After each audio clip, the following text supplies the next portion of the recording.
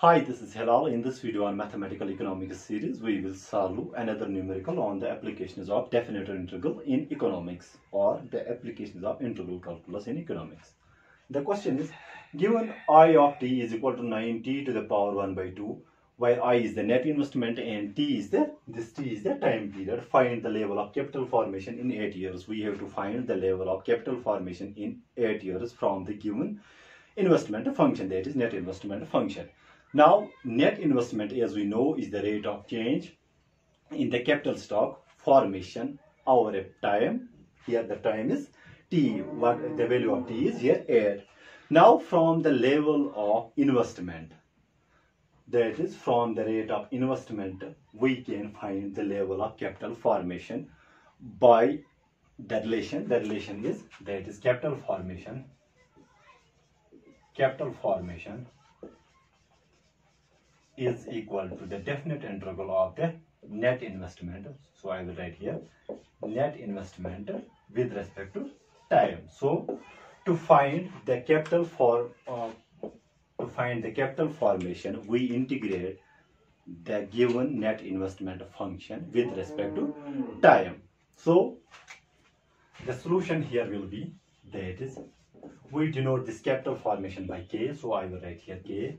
This k is equal to the definite integral of the given investment that is from 0 to t from 0 to the time period t of the investment investment function with respect to time. Now here this is 0 and our uh, time period is 8 and we integrate this uh, net investment function that is t1 by 2 now this will become integrating that mm, sorry i will write here with respect to time. So capital stock or capital formation is equal to the definite integral of the net investment over with respect to uh, time here. That is we integrate this uh, net invest net investment function from uh, integral from the lower limit 0 and 8 now integrating this will become now 9 is as it is. 9 is constant so we place this outside the integral. So this is here 0 to 8 t 1 by 2 d t here. Now this is equal to 9 now uh, integration of t to the power 1 by 2 is 1 by 2 plus 1 divided by 1 by 2 plus 1 as we have seen in the earlier videos the uh, rules of integration. And we will evaluate it from 0 to 8 so this will become here.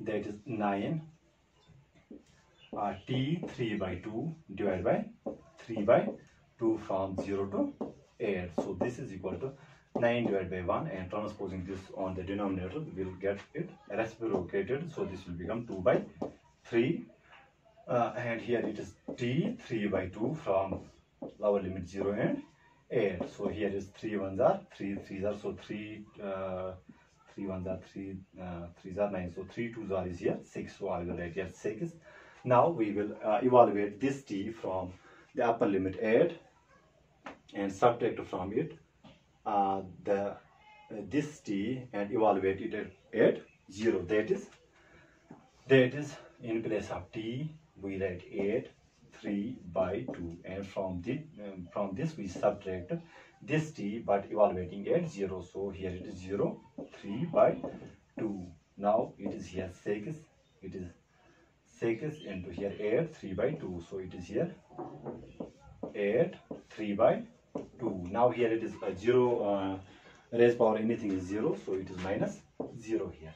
Now this will become 6 it is here 6 now this can be written as uh, into 8 uh, into 8 raised power 1 by 2 because here bases are same powers are added. If we add these two terms so here the mm, exponent is 1 so this will become 1 plus 1 by 2 2 ones are 2 plus that is 3 by 2 we will get uh, this um, so we have broken this in this form that is 8 into 8 1 by 2 so now if we multiply these two we will get that uh, uh, this 8 3 by 2 now here it is 6 8s are 48 now 8 1 by 2 is under root 8 so the level of capital stock after 8 years is equal to this. Now we can further also manipulate this to get the numerical value. So it is up to you how you will manipulate it. So this was all about the integration in economics or the use of the definite integral in economics. I hope I make myself clear. Here the power function rule says, I will repeat here, this t1 by 2, if it was t1 by 2 and we have to integrate this with respect to time. Now this is equal to t, exponent is 1 by 2 plus 1 divided by the resulting exponent that is 1 by 2 plus 1. Now in